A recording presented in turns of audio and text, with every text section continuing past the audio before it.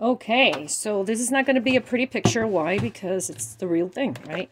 So I've put onions, peppers, mint leaves, and cilantro in here. And lemon juice. This is ready for the cooking. I could actually make, um, I forget what you call it. So let's forget about that, huh? Ceviche. Ceviche is um, like a salad of shrimp. Very popular with Peruvians with all tropical Hispanic Latino islands.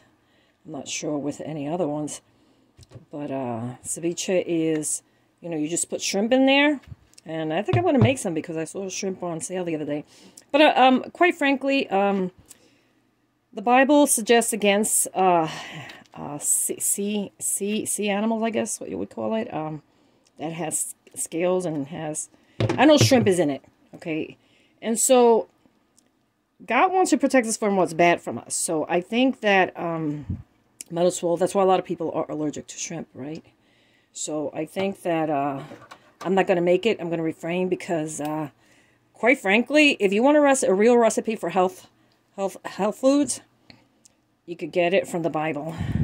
Because the Bible tells you what to do. It even tells you about fasting, right? Fasting is actually could actually cure cancer. Well, I'm not a doctor or nurse.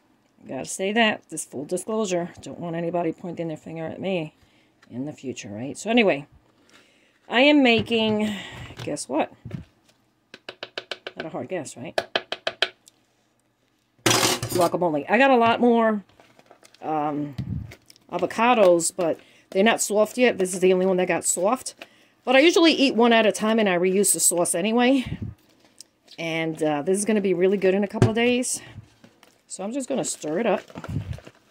And it's going to have some juices in a couple of days. And then I'm going to eat the avocados. And then I'm going to put another avocado when it's when they become more ripe. Oh, delicious. So this is the beginning of my guac guacamole, right? I want you to come over here and take a peek. What else I'm doing? I hate to open it because the heat comes out. So over here, I'm making tomato sauce with just peppers and onions, no meat. Boom. Did you see that? Oh, there it is. Boom. Can you see it? Oh my goodness, where is it? It's over here. Okay, because I'm using a stick on to hold this, and that's not a good thing because I can't identify what I'm pointing at. And here is the meat sauce.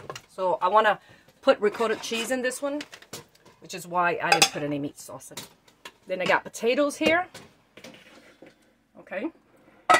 And in the bottom,